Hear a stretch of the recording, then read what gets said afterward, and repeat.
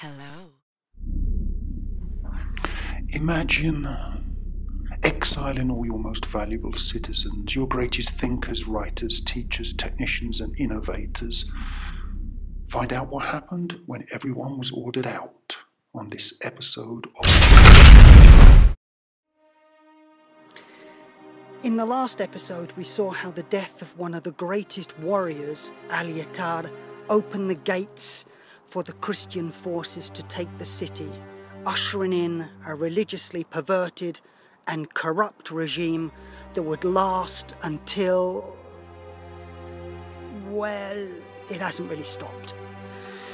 But back in 1486, Queen Isabel I was finally able to enter the city by this gate, still standing today, known as Halfin.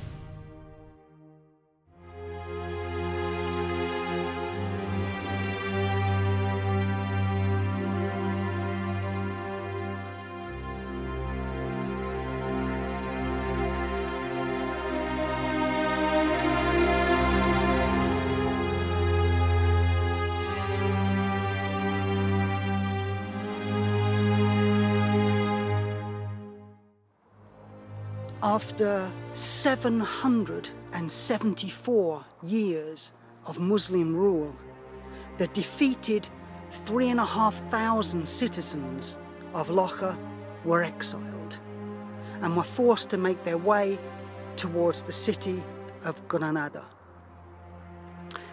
But not for long. Six years was all they would have until that city itself fell to the mercenaries and the Catholic kings.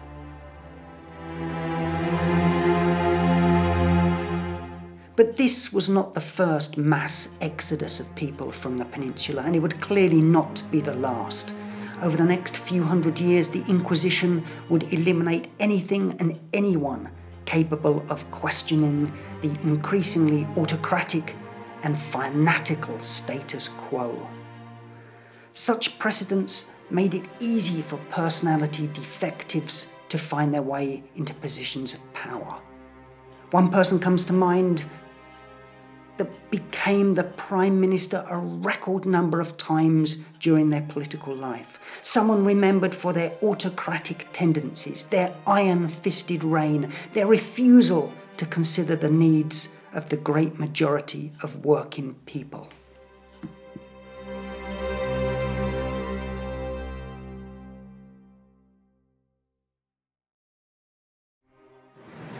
No, it's not Maggie Thatcher. It's Ramon Maria Narvaez, born in this very town in the year 1800.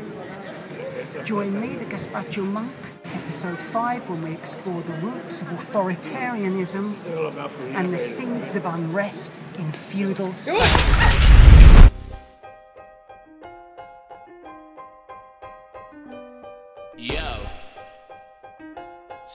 Cheese. Mr. Cheeseman. Say cheese.